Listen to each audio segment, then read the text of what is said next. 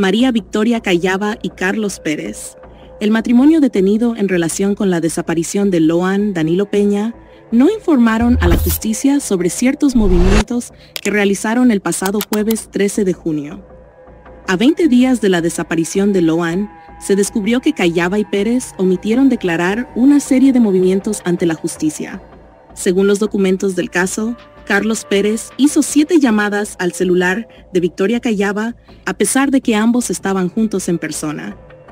El matrimonio argumentó que se dirigían a ver un partido de fútbol entre River y Deportivo Riestra después de salir de la casa de Catalina, la abuela de Loan.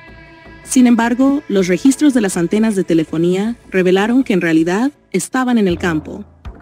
Los periodistas Nicolás Wiñaski y Santiago Fioriti, de Somos Buenos, informaron que el cruce de llamadas y datos de geolocalización confirma que el matrimonio mintió en su declaración.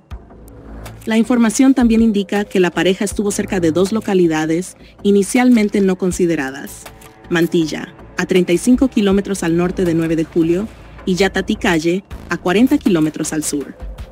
Fernando Burlando, abogado que representa a la madre de Loan, sugirió que la pareja hizo una maniobra para que los otros menores no notaran la ausencia de Loan.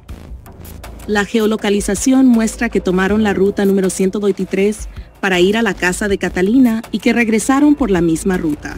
Burlando especula que la ruta número 12 que cruza con la 123 podría ser el camino por el que se llevaron a Loan.